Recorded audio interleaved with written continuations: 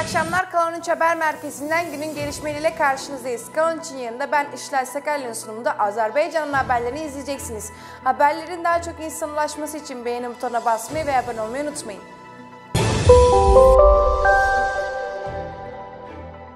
Azerbaycan Savunma Bakanlığı basın servisi verdiği demeçte Gedebey bölgesinin isimsiz yükseklerinde konumlanan konumlarımız Ermenistan Cumhuriyeti'nin Krasnoyarsk bölgesinin isimsiz yükseklerinde bulunan mevkilerden ateşlendi. Ordumuzun pozisyonları Göyark, Çilebürt, Agdam bölgesinin Tagıbeyli, Füzuli bölgesinin aşağı Veyselli yanı sıra Goranboy, Tertar, Agdam ve Füzuli bölgelerinin işgal altındaki köylerinin yakınındaki işgal altındaki mevkilerden ateşlendi.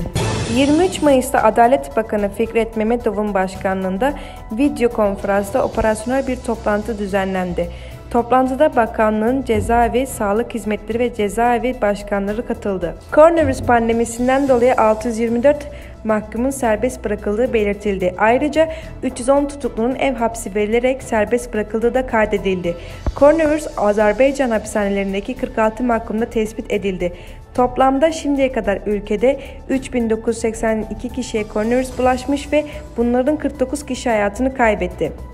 Bazı yerel insan hakları aktivistleri Azerbaycan'ın mahkum sayısı bakımından Avrupa'nın önde gelen ülkelerinden biri olduğunu belirtmektedirler. Koronavirüs salgını mahkumların yoğunluğunun tehlikeli olduğunu düşünüyorlar ve daha fazla mahkumun serbest bırakılmasını istiyorlar. 25-28 Mayıs'ta vatandaşların boş zamanlarını etkin bir şekilde organize etmek ve 28 Mayıs Cumhuriyet Bayramı ve Ramazan vesilesiyle çalışmayan günlerde Azerbaycan halkının zengin kültürel mirası ve eski tarihi ile tanışmak için işletmelere erişim ücretsiz olacaktır. İşletmelerin faaliyetleri gerekli sosyal davranış kurallara Bakanlar Kurulu altındaki operasyonel merkez tarafından sağlanan metodolojik yönergelere uygun olarak gerçekleştirilecektir. Azerbaycan'ın enfeksiyon hastalıkları Celal İseyev yaptığı açıklamada kapalı alanlarda tıbbi maske kullanılmasının gerekli olduğunu, birçok kişinin kapalı alanlarda kalabalık yerlerde maske takmadığını, insanların sosyal sorumsuzluk gösterdiğini ve maske kullanımının virüsün yayılmasını önlemeye yardımcı olduğunu söyledi. İseyev, bir maske takmayla insanlar sadece kendi hayatlarını değil, başkalarının hayatlarını da tehlikeye atarlar. Bir maske takmanın virüsün yayılmasını önlemede bir etkisi vardır. Maske havadaki enfeksiyonların yayılmasını önlemenin ana yollarından biridir. Sadece koronavirüs hakkında değil, aynı zamanda havadaki damlacıklar tarafından bulaşan tüm hastalıklar hakkında konuşuyoruz. Bu nedenle mevcut durumda bir maske takmak gerekir ifadelerini vurguladı. İseyev sadece sokakta özgürce yürüyen bir kişinin maske kullanamayabileceğini belirtti. Kişi herhangi bir kapalı alanda 10 kişilik bir gruba yaklaşırsa maske kullanmalıdır.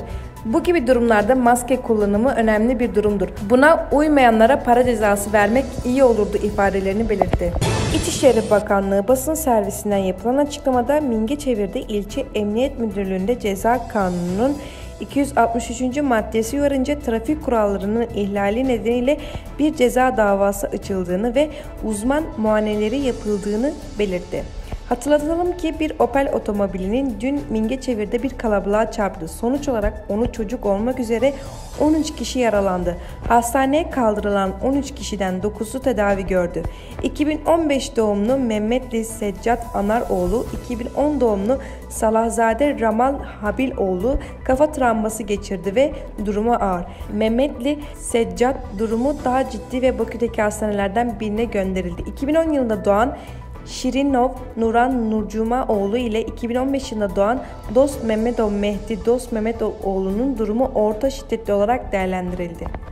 Ben Işılay Sakalya'nın sunumunda Azerbaycan'ın haberlerini izlediniz. Haberlerin daha çok insana ulaşması için beğeni butonuna basmayı ve abone olmayı unutmayın.